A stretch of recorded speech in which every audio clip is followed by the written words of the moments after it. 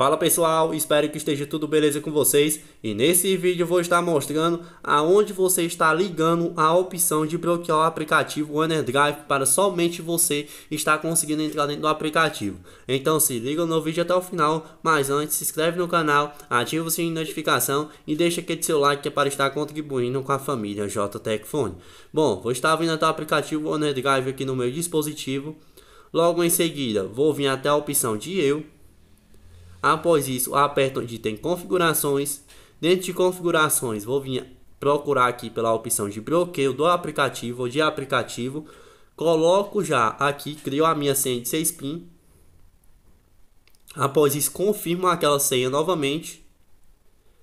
E após ter confirmado aquela senha, você pode estar ativando a biometria